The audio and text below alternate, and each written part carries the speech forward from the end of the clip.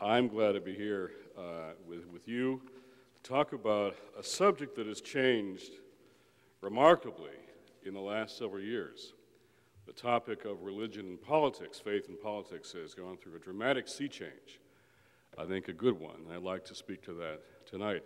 I have just finished this book tour for this, uh, this uh, new, new book, the Great Awakening book, and the first night was in Portland, Oregon, where uh, Powell's, a great independent bookstore has a, uh, they have their events in this Baghdad Theater, it's called, this old, funky, renovated place. And uh, it was first night, and it was a marquee outside. And at 7.30, had the, the book event, had my name in the marquee. And then the movie at 9.30 was also listed. I looked, and there it was, Jim Wallis, American Gangster.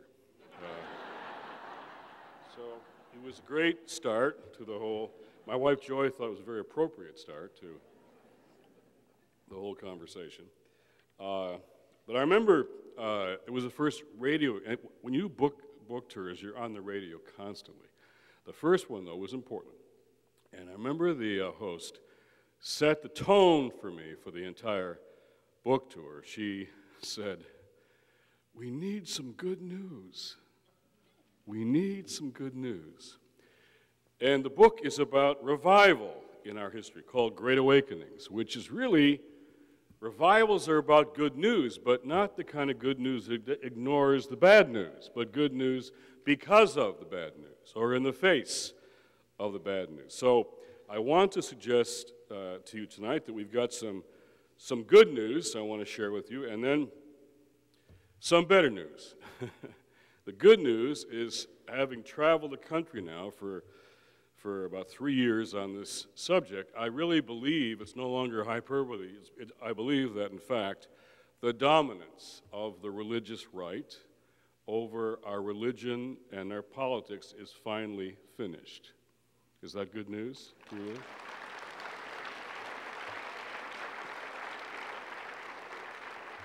But the better news is, I'm not even going to talk about them tonight. Uh, because the better news is that a whole lot of folks, particularly a new generation, are applying their faith, addressing their faith to the biggest issues we face in this country. And that's changing the entire landscape of faith, politics, and even the issue of moral values voters. And I want to speak to that good news tonight. But it's true the church has had a serious image problem. A recent book named Appropriately Unchristian by Barna Polster, David Kinnaman, and Gabe Lyons reveals much about the millennials, the emerging generation, both inside and outside of religion. It's about how they view Christianity in particular. And guess what? The results are in, and it isn't good news an overwhelming majority of these young people, remember both inside and outside of religion, view Christians as too hypocritical, too judgmental, too focused on the afterlife, too political in the partisan sense of the word. A lot of baggage to carry around.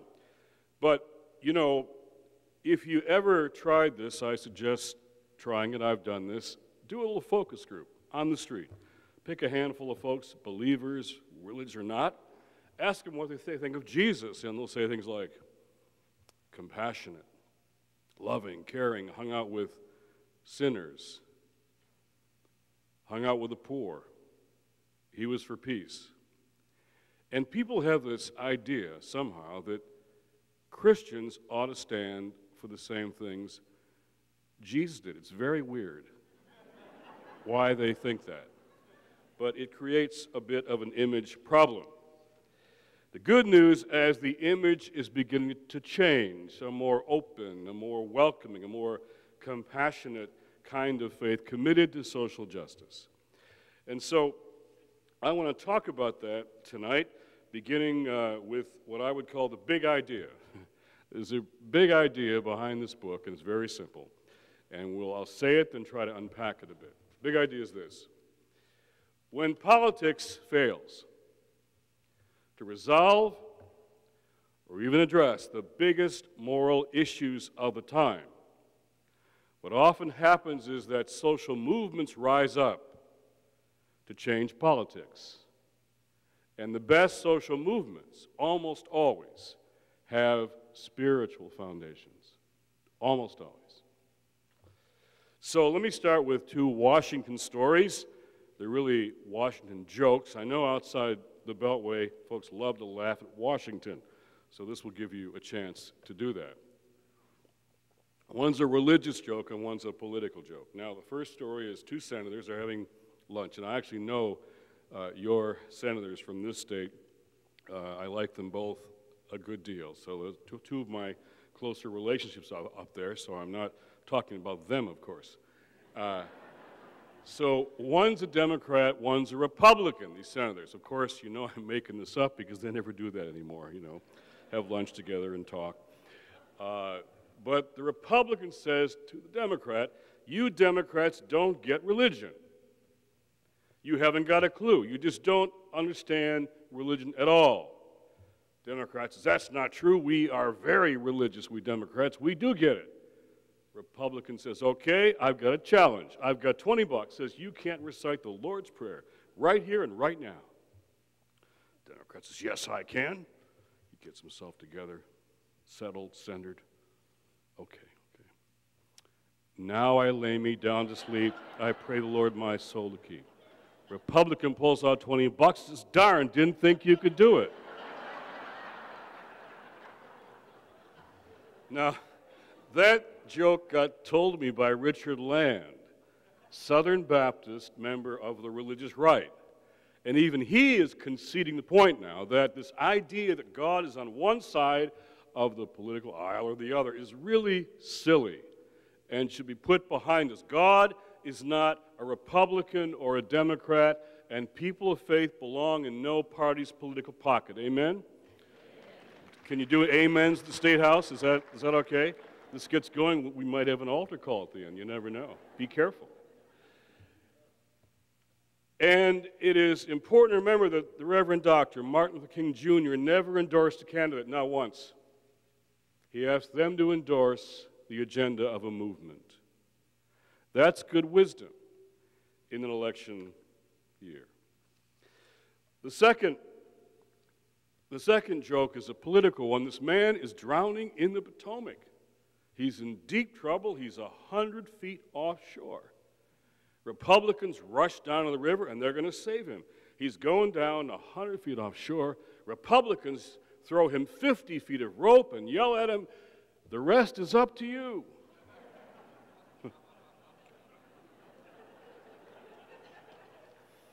Democrats, of course, think they can do better. They rush down. He's really going down now, the poor fellow, 100 feet offshore. Democrats throw him 200 feet of rope and then let go of their end. it's a silly story. But it makes a point, which is this much more serious point. Politics is broken in America. Most of us feel that. Washington Post this week did the poll again, the Are We Going in the Wrong Direction poll. Consistent polling over decades now, now up this week to 82% of us believe the country's going in the wrong direction. Again, the big idea when politics is failing to resolve and address the big issues, what often happens is social movements rise up and change things, big things that no one thought could be changed. So, this book is about these times in our history that I've fallen in love with. These uh, historians call them great awakenings. When the revival of faith breaks out and big things change, like the abolition of slavery, women's suffrage, child labor law reform, and of course, civil rights. Things that no one thought could change, all of a sudden, the wind changes and things happen that nobody expected. So I was studying all these movements. I knew something about them, but I didn't know nearly as much as I learned in the research on this book. And I learned, among other things, that the church historians, I love this, the church historians say that spiritual renewal or conversion or religious experience doesn't get to be called revival until it changes something in the society. Which means if religion cures your addictions, thanks be to God. If it heals your relationships, mends your family back together, wonderful. If it sets your life on a new path, let's be thankful. But if it doesn't change anything in a society, the church historians say it doesn't get to be called revival. So the historians argue about how many of them there have been. I think four. I think the black church in the civil rights movement was the fourth Great Awakening. I won't go through them all tonight, there's not time, but one of my favorites is the Second Great Awakening. Charles Finney was the Billy Graham of his day, he was the preacher, he was an evangelist and an abolitionist. So I learned he pioneered the altar call, which Billy Graham later made famous. And the reason that Finney used the altar call was to sign up as converts for the anti slavery campaign.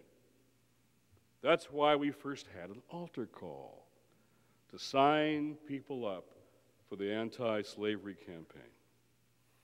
Um, I love the idea of calling people to faith and signing them up for God's purposes in the world, right off the bat. So we were in Boston on this book tour, in Park Street Church in Boston, great church right on the common there. Uh, and uh, uh, I learned that William Lloyd Garrison did his first anti slavery speech there in the church. Now, he was secular, but if you were an abolitionist, Park Street Church was the place to be. And Charles Finney preached there on weeknights in 1831, using the altar call to call people to the movement. And so I was preaching on a weeknight, and the place was full of 20 something young believers who believe they're part of a new generation of new abolitionists focusing their faith on, well, the forgotten people and forgotten places that New York Times columnist Nicholas Kristof writes about all the time. You could feel a palpable sense of history all over again, just like Charles Finney in 1831. Same century, different continent, William Wilberforce, British parliamentarian. Young man, bright, rising star, got swept up in the Wesleyan revival and gave his whole political career to ending slave trade and then slavery in Britain. It took putting forward a bill nine times before it passed. It took 30 years to end slavery in the UK, and when it finally happened, Wilberforce died three days later because his work was done. Now, a movie came out this year called Amazing Grace. You might have seen the movie about Wilberforce, and Albert Finney played, uh, played John Newton, the great uh, songwriter, Amazing Grace, how sweet sound saved a wretch like me. Well, this brother was really a wretch. He was a slave trader. And he came to faith and he became an abolitionist. And, and the movie portrays Wilberforce well, but it misses the movement, the prairie fire that swept the UK that made Wilberforce possible. It's not just great individuals, it's movements. So this year I got to go to the State of the Union as a guest. For the first time, I was in the balcony watching uh, the whole thing live. I always watch it on TV. And as I peered over the balcony, before the TV comes on, it's quite amazing what occurs. Now, my wife is a Church of England priest, one of the first women ordained 15 years ago, Episcopal now here, she's English. And, and she's taught me about uh, processing. You know, I'm kind of low church in my background. Something in common there with Bill Clinton, I think, uh, low church. And when I'm preaching in an Episcopal service and I'm processing, I got to hang on to the robe in front of me so I end up in the right seat, you know. And I was in the Grace Episcopal Church uh, Cathedral this this book tour, and they, my wife said they're kind of high church, which means she said smells and bells, and so, and it was Chinese New Year, so they were we were processing with dragons, you know. It was, but I ended up in the right place. Well, I'll tell you, these members of Congress put the Episcopalians to shame when they process. I mean, first the members of Congress process in, then the senators, then the, the justices of the Supreme Court, then the Joint Chiefs of Staff, then the president. Of course, he sit up, it's up, down, up, down, up, down. It's like High Church Washington, you know? And I looked over the railing and I, I know I saw them scurrying around down there. I know many of these characters, and I like some of them. Um, um, but it struck me as never before that I think they think that they're the center of everything. That it all flows to and through them. That history really changes there. They're the ones, the masters of history. They are the ones who change things. But to see, history doesn't bear that out. History suggests that it's grassroots movements, social movements, that change politicians more than politicians change history. Remember, Lyndon Johnson wasn't a civil rights leader until Martin King and Rosa Parks made him one. Now, I don't know who your favorite candidate is this election. I might guess, uh, being where we are.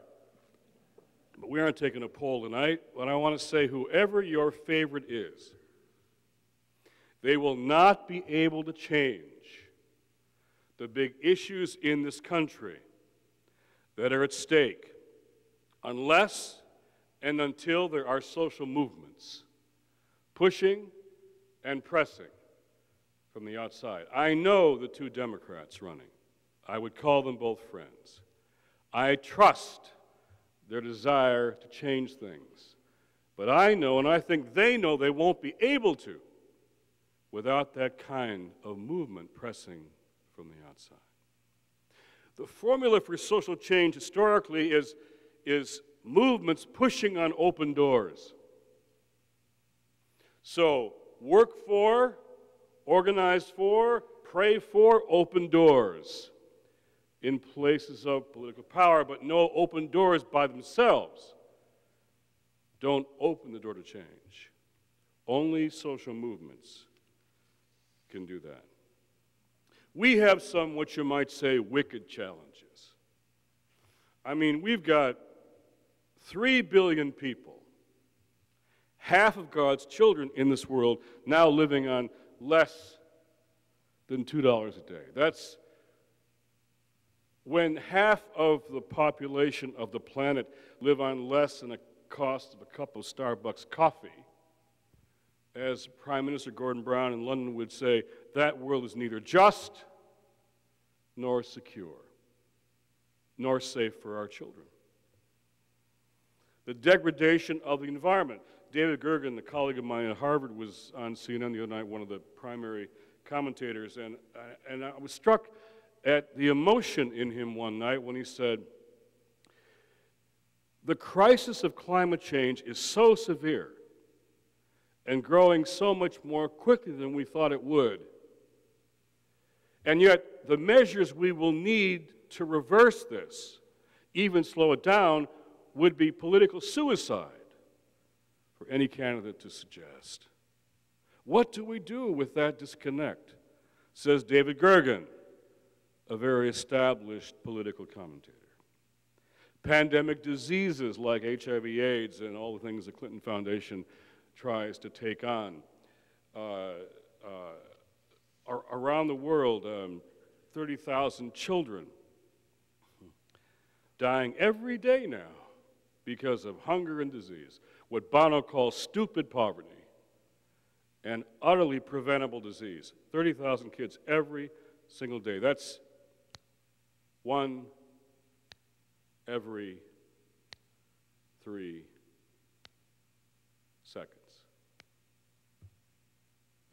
My son Luke, who's nine, friend of Hillary Clinton's, um, it tries, he's been trying, this has broken through to him in the last uh, few months. And the other night he was trying to work this out in his prayer life, as kids do sometimes. So we were doing prayers, and uh, I got a five year old and a nine year old, and we're just doing prayers like usual. And he says, uh, Dear God, I pray that those children don't die again tomorrow. And he pauses and says, But that's unlikely. So I pray that it would be their best day ever, though it probably won't. So, dear God, help us to stop this from happening. Help us to stop this from happening. Doesn't make the headlines, ever. Or the cultural assault coming from these, you know, uh, I'm probably more sensitive now that I've got young kids. The sort of the cultural assault of these utterly destructive values seems aimed now at my nine-year-old and five-year-old. And if you're a parent, uh, whether you're a liberal or conservative, parenting has become a countercultural activity in America. That's how it feels if you're a parent. Uh, uh, and finally, the exclusive use of war to fight evil. There is real evil in the world, but the exclusive use of war to fight it has compromised our moral integrity and left our children less safe than they were before.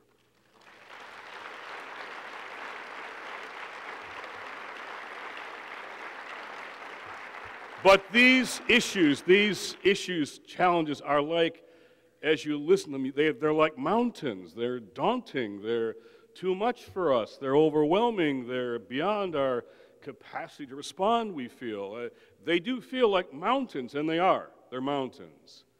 But the Bible says that if you got faith the size of the grain of a mustard seed, what can you move? Oh, well, biblically literate crowd tonight. you can move mountains. So movements are in the mountain moving business. That's the whole point.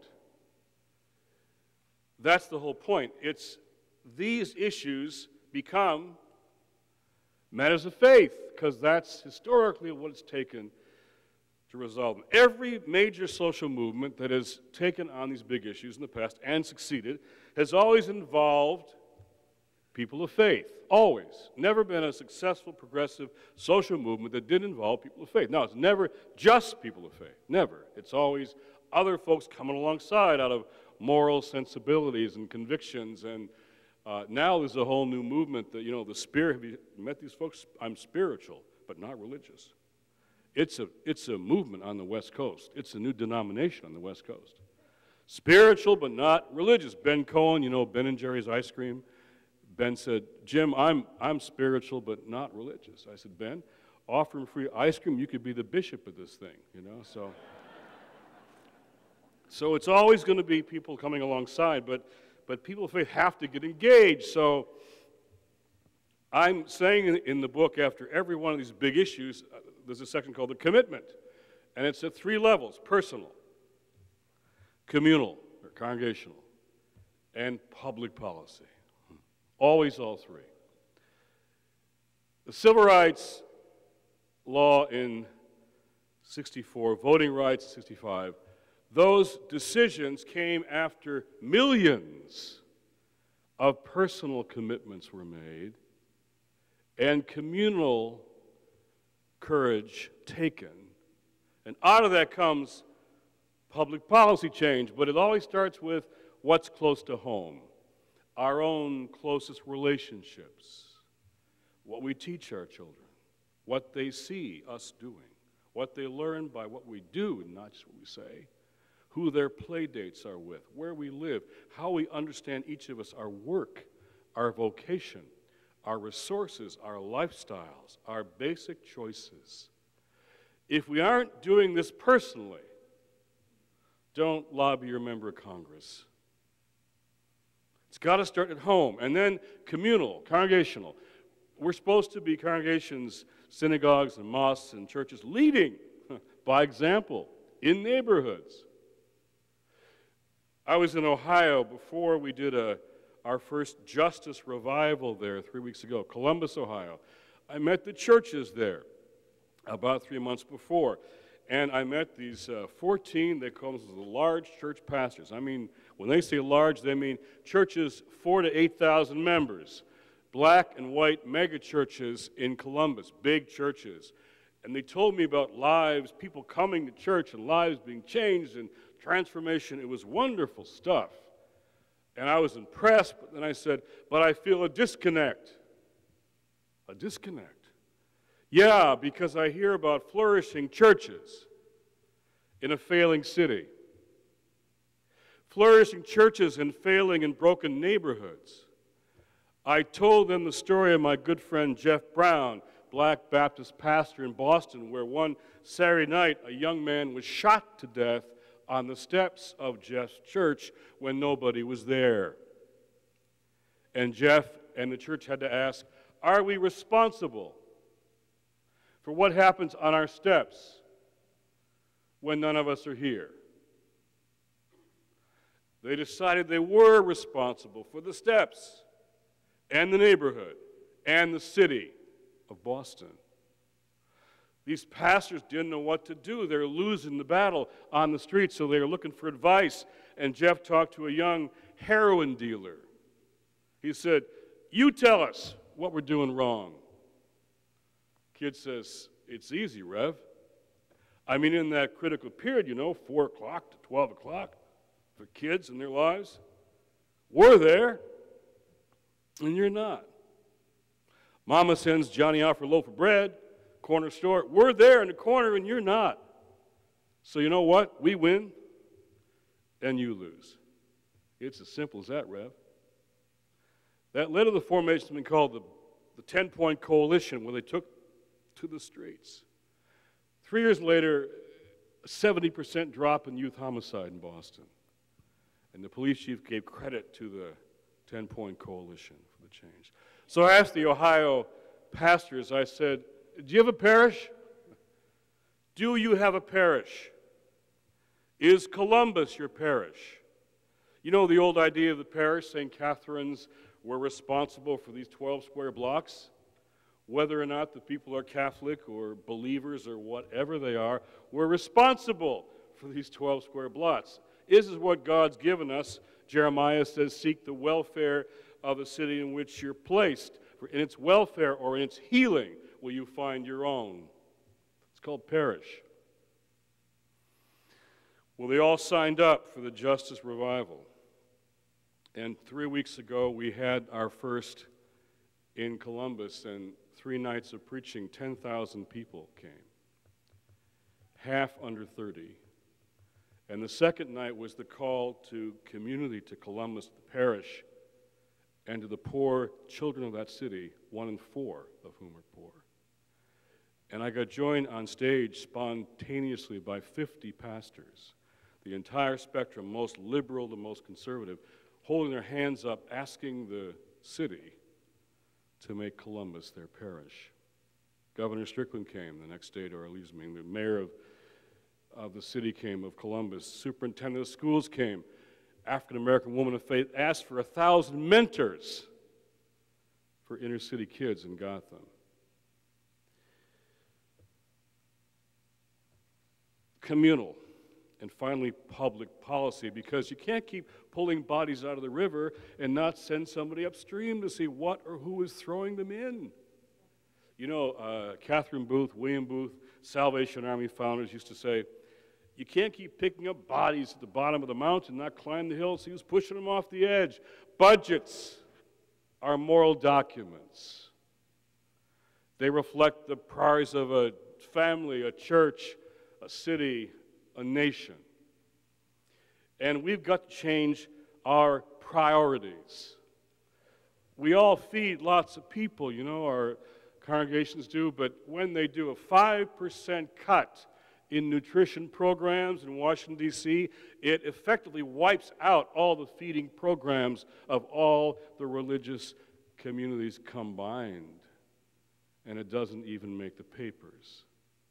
Policy is important. It was to Wilberforce, was to Finney, was to King, and should be to us. So,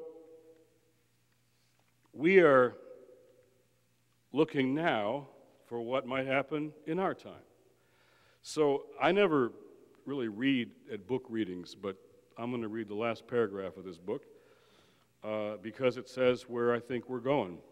the writing and the praying and the vocational discernment got all mixed up in the last year or so for me, and this is what's come out of it. Imagine something called justice revivals. In the powerful tradition of revivals past, but focusing on the great moral issues of our time. Imagine powerful preaching and music at night with marches in the streets during the day. Imagine linking the tradition of Billy Graham with the tradition of Martin Luther King Jr. Imagine a new generation of young people catching fire and offering their gifts and talents and lives in a new spiritual movement for social justice. Imagine disillusioned believers coming back to, to faith after many years of alienation while seekers discover the power of faith for the very first time. Imagine a revival of faith that didn't result in sectarian warfare, but rather new dialogue, respectful dialogue between our diverse religious communities and a new interfaith collaboration around the crises that affect us all. Imagine politics being unable to co opt such a revival, but being held accountable to its moral imperatives. Imagine the social movements rising out of spiritual revival and actually changing the wind of our culture and our politics. Imagine a fulfillment in our time in the words of the prophet Amos let justice, he said, let justice roll down like waters and righteousness like an ever flowing stream. I was invited to speak at a place, unusual place for me, not a great uh, uh, institution like this, uh, or a church, or a uh, university, but Sing Sing Prison by the inmates. Prisoners wrote, said, come talk to us. It sounded interesting, so I wrote back, said, well, when do you want me to come? And this young prisoner, young brother, writes back in behalf of his colleagues. He says, well, we're free most nights. he says, we're kind of a, kind of a captive audience here. And uh, so we went and worked out the details. The warden gave us a lot of freedom. So I had 80 guys by myself for five hours in the bowels of that infamous prison. And one of them said that night, he said, uh, You know, Jim, all of us here at Sing Sing are from just about four or five neighborhoods in New York City. The whole prison, four or five neighborhoods. It's like a train, he says. You get on when you're nine or 10 years old in my neighborhood. The train ends up here at Sing Sing. But he had this young man a, a conversion inside behind the walls, and the New York Theological Seminary teaches Masters of Divinity inside the walls of Sing Sing Prison. You graduate when your sentence is up. I did the Georgetown commencement last spring. I'm doing the Sing Sing commencement this spring. Yeah. And this young man looked at me and he said, You know, when I get out, I'm going to go back and stop that train. So I'm in New York a couple years later, and guess on a big town meeting on poverty, guess who's up front? Back home trying to stop that train. Here, when you're in jail in this country, you're often always, you're often already poor. Now you're in the bottom of the bottom, and these young guys figured out the most important thing that faith is for the big stuff the things that are beyond us and too big for us and more than we can handle. That's why we call it faith. Fast moving urban trains, a world divided between haves and have nots. These are matters of faith.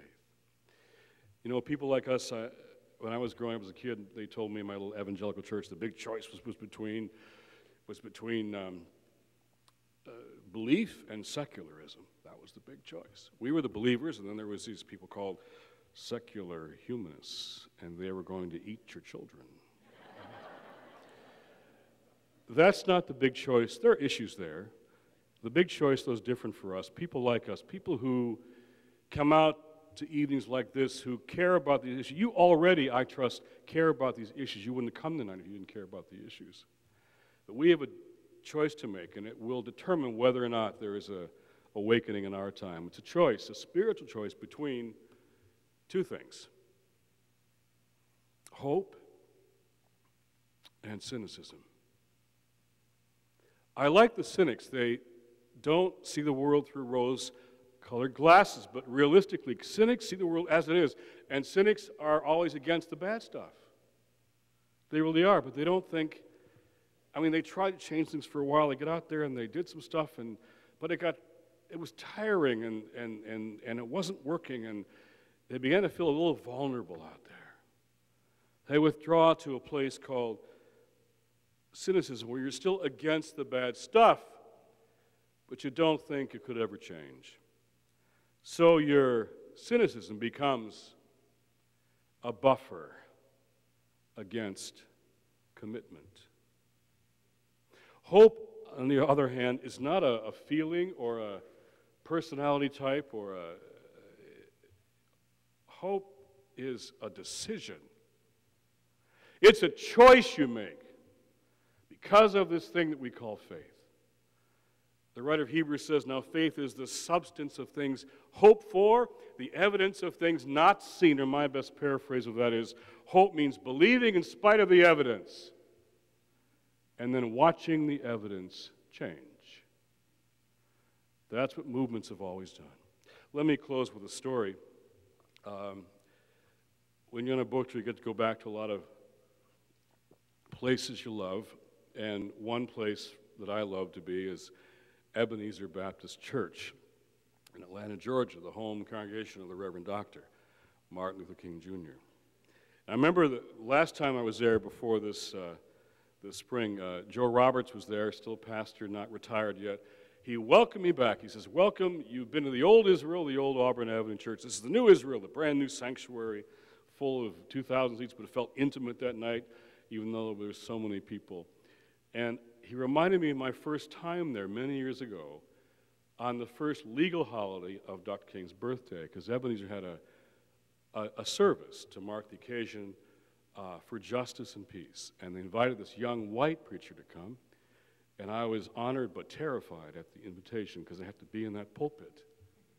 That pulpit, that historic pulpit, which I was so awed by, and I was afraid of how I would feel. And sure enough, I got into the pulpit where Martin King Jr. used to preach, and his daddy, Daddy King, and the whole movement, and I just froze. I just froze at the history of the place. And I was more than a bit tepid when I said something like, Well, Martin Luther King Jr., he was for justice and peace, and probably we should be too.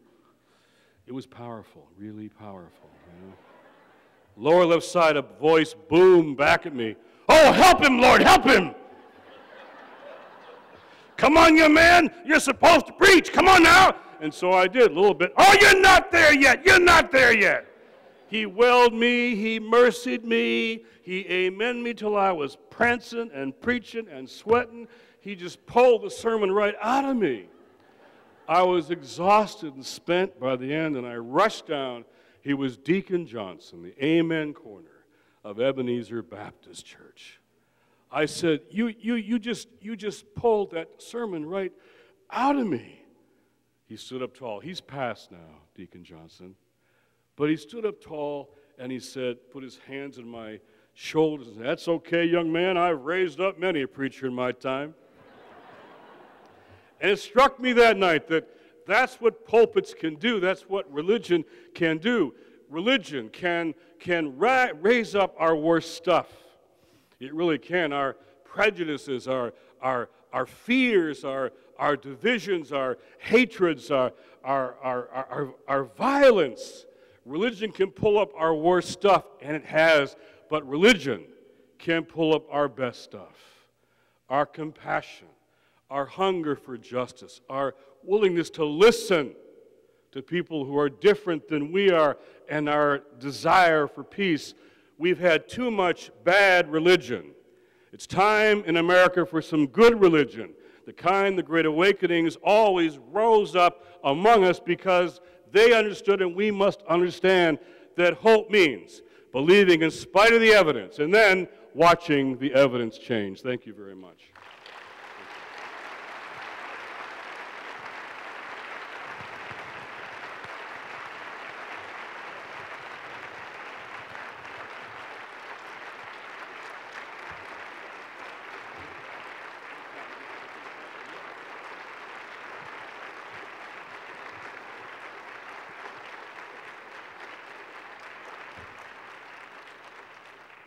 Okay, we have time for some questions. Would you please uh, raise your hand? And uh, do we have microphones in the back? We got microphones right here. All right, we got a young man right here at the back.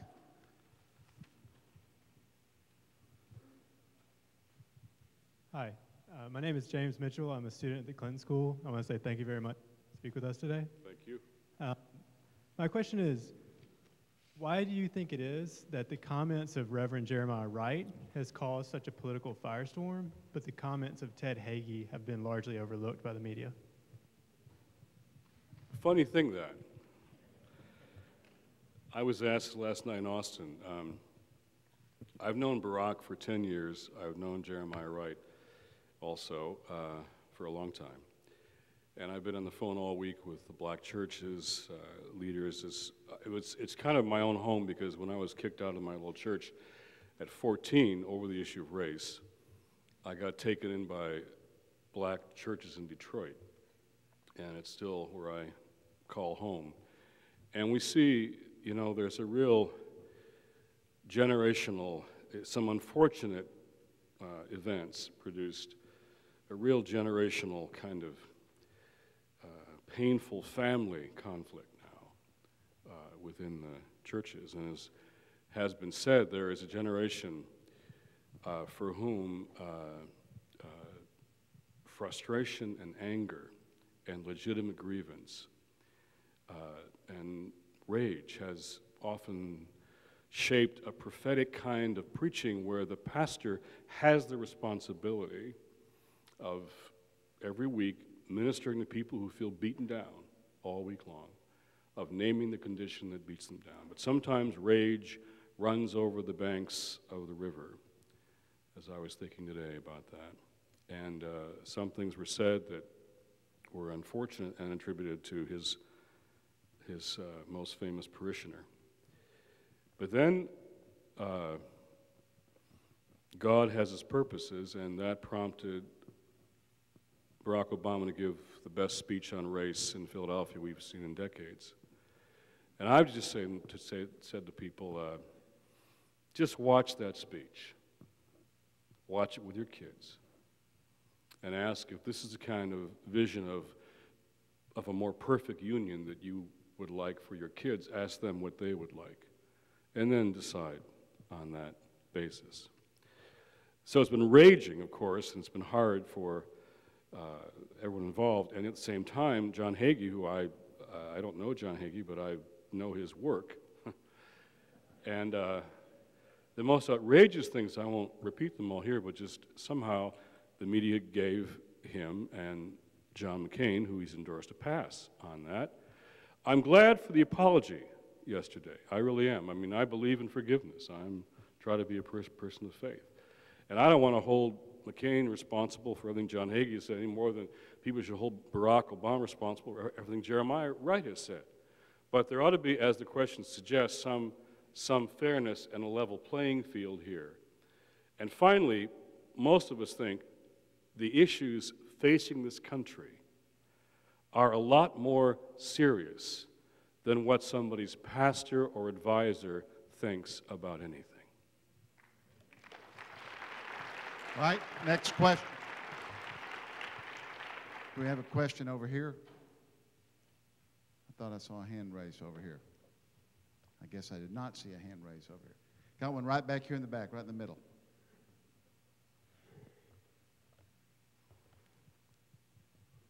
Hello, I'm Kimberly Roth. I'm a co editor for JesusManifesto.com and also participated in the 2006 Pentecost Conference. Thank you. So, um, you touched on this briefly, but Senator Clinton was asked at the Compassion Forum if it's possible for people of faith or of no faith to impact our, the crises in our globe um, without making personal lifestyle changes. And I just wanted, her answers were very vague, so I wanted to hear yours. Well, um, I was at that forum, actually, and uh, asked a question on that occasion myself. I, I, I remember the question, it was a good question. And um, I had breakfast this morning with one of our former interns in Austin now, and she's going to do uh, uh, uh, theology and public policy at Vanderbilt in the fall. And, um, and she's really gotten into what she calls the ethics of food. And she- explained to me uh, something called food miles, which I'd never heard before. The average tomato travels 1,500 miles before it reaches our plate. And how things like um, uh, uh, you know, local, eating locally and eating seasonally are not just sort of um, kind of cool hippie lifestyle habits, but affect global warming, affect transportation.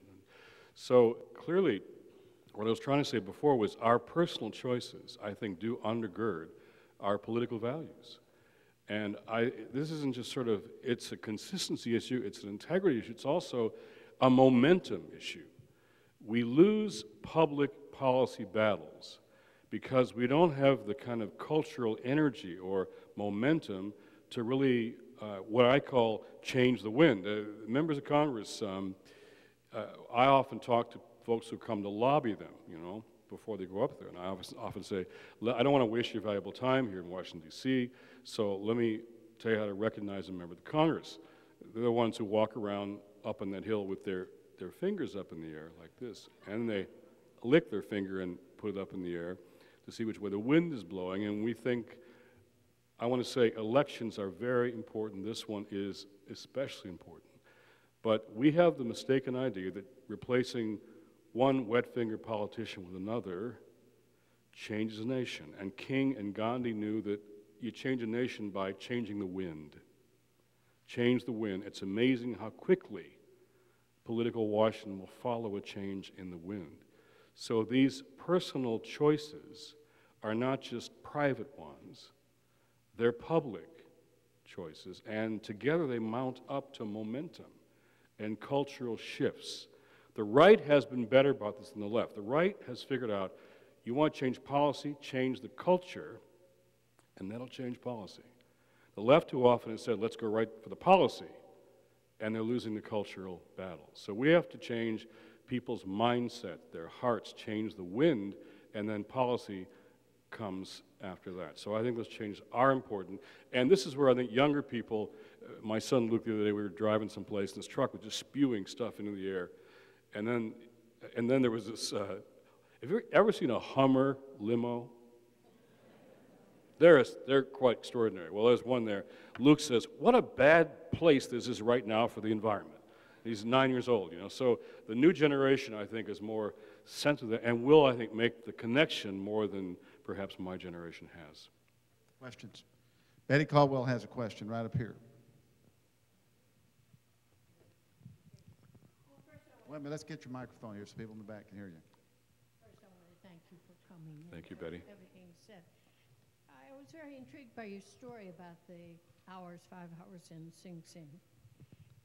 And we've never been able to decide in this country whether prison is for punishment or for rehabilitation. Mm-hmm. But all of those, I guess they were men in Sing Sing, had women and children who are on the outside, and many of them are totally left without resources, and wondered if any of the churches nationally are mobilized to try and help this very important left out group. It's a very important issue. Thank you, Betty. Um, the percentages are, enor- are enormous. and what happens now, uh, reentry has become a huge issue in many poor communities. And I know churches and faith based organizations who get just overwhelmed by floods of, of returning prisoners with nothing for them. And now it's so difficult to get a job if you've got a prison record. So a lot of two two hopeful things though. A lot of churches are getting into what they call prison ministry. Sometimes just visiting and so on, but it leads to relationship and contact and then interaction with the prison system. And I had a dinner last week um, uh, at the invitation of some of this nation's uh, political conservatives who I hang out with a place like Renaissance. and, uh, and they've said to me, you know, we'd like to do something together that might surprise and even shake up politics. You might be surprised to know that because we're Catholic, we're against the death penalty. These are names that you would know. And we've decided that we're going to do something together that will be launched after the new administration, wh- whoever that is, comes in, on prison issues, prison reform, and the death penalty. This is an issue that could, could be a cross cutting issue of left and right. These aren't left, right. Left and right are political categories, not religious categories, not even moral categories. So I'm more and more drawn to cross cutting issues like that. You know, I have, I have, um, I have done some prison ministry, um, some voluntary and a little bit some involuntary, uh, in terms of some nonviolent civil dis- disobedience over the years. And, and I remember one time I was in DC jail, and the gymnasium had been turned into another jail room because of overcrowding, and a hundred guys in a makeshift gymnasium in bunk beds sharing one toilet. And there were kids in there that didn't look older than 15 to me. I guess they had to be older, but they didn't look older. In there for things like bus transfer violations. Uh, had never yet been to court three months later, had lost the number of their public defender. And I'd go outside and have to tell grandmother what had happened to the, the boy that she was raising and never had heard from. Now, liberal or conservative, you know that that's just going to make this kid into a much tougher kid when he gets out than when he went in. So these are issues that we have, have to confront, I think, as moral questions. And I think the churches could, and the congregations, and many mosques, I want to say, many, many, many uh, Muslim congregations have done a, I've been in, in those, in DC jail or places, and there's some real powerful things going on from, from Muslims inside those jails. So I think this is something we could collaborate on and make a difference on it, and we, and we have to. A few more? Right here in the back, Dennis.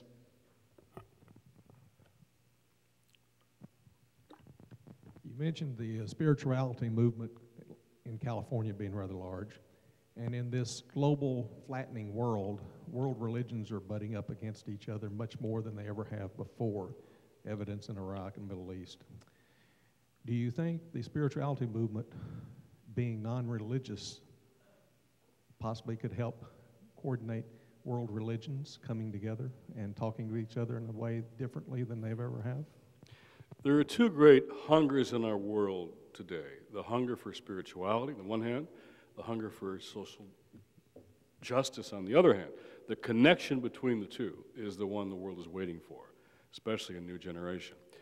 And I have been, over the last, since 9 11, there has been more and more conversation between uh, not just people who want to talk about spirituality, but even faith leaders across boundaries like we hadn't before. Uh, Davos, the World e- Economic Forum, I've attended that now for several years uh, in a row since 9 11. And at first, th- these are like business people and uh, heads of state. And first, after 9 11, they're worried that, you know, this religious conflict might interrupt the business climate. So we got to get people together to talk. But the more we talk, the more that it was a conversation that affected things like uh, I, was, I did a seminar on shall we despair, should we despair of our disparities? Uh, uh, does global inequality, is that a religious and a moral issue that affects things like security? And of course, it, it is. And so I think there is a new conversation under the level of the radar screen going on. It's often a conversation between the fundamentalisms of, all of our great religious traditions, which are remarkably similar in Christianity, Judaism, and Islam. There are fundamentalisms in all our traditions. Karen Armstrong writes about this very uh, persuasively. Then there's the prophetic tradition in all those same traditions, which I think is the counterpoint. The answer to bad religion is not necessarily secularism. The answer to bad religion is often better religion. And so a religious dialogue, I think, now is imperative, both inside the traditions and outside as well. Annie, got a question right here. Right behind you, Annie. There's your mic.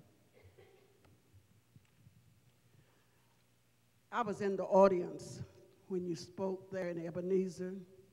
Bishop Tutu was there with Mandela's two daughters. My question is in your experience as becoming a global motivator for people to look inside, what experiences impacted you, you believe, spiritually to be the giant that you are today? I had the same question that I asked to Bishop Tutu, and I also asked Mandela. I'd like to know what were those experiences that developed you to be the giant that you are today? I had a recent experience uh, with um, uh, Bishop Tutu's daughters are such a credit to, to him, and I, I was I'm getting to know Naomi especially, and uh, I've kind of um, as a parent of two young boys, I have just admired how uh, Bishop Tutu, in the middle of his busy public life, was able to raise uh, these young women with such a quality of, of heart and spirit. I hope we can do as well, Joy and I, with our, our boys. Um, I think what, what really, the real question is what sustains you. That's the real question because, you know, you have, uh, we all have successes and failures and things rise and fall. And what sustains us over the long haul is really the question. And I think that a social activist can't, can't continue to be an activist for a long time unless they also are working at becoming a contemplative. Uh, uh, Bishop Tutu, when I got to know him, I was struck by his faith as much by his political courage. And I remember he told me one time that he got this letter from a group of cloistered women in a monastic community somewhere in Missouri who wrote him and said that they got up every morning at 4 a.m. to pray for him. And he said, Why, how could I be afraid of P.W. Botha when those women are praying for me every day? You know, bring it on, you know. And, uh, and, and uh, he always traveled with a chaplain. Uh, and I, I, this book talks about how, for King, uh, at the kitchen table one night in Montgomery, how his academic and seminary faith wasn't enough to face the death threats he was getting. And daddy's faith back in Atlanta was enough. And mama, he had to, God had to become real for him, personal and real. And I think, I think uh, when I talk to young people these days about, we have this emerging leaders program of under 30 activists. And I get to speak to them every, every year, and I just say three things. You got to take care of your faith, you got to take care of each other, and you've got to think movement. You know, and and for me, over the years, it's been people who have taken time to try and take care of me and my faith, and mentors and elders are really important. And I think, um, you know, hope comes for me when I see the kind of faith uh, that I get to see. I'm spoiled and blessed. I get to see some of the best things going on in the world. I've seen too many, you know, I, I was there for Nelson Mandela's inauguration, and I saw how history just changed in a day. And, and that was the kind of faith being rewarded. Tutu used to say, We are prisoners of hope. That wasn't some kind of eccentric old man. He just knew how history changed. This is the dynamic of history. So the hope to me is the crucial thing. That is the one thing that we have to offer that movements most need. Everything else we can fundraise for, but the hope is really the critical thing to keep, keep alive. We have time for one more question. Right here, Heather.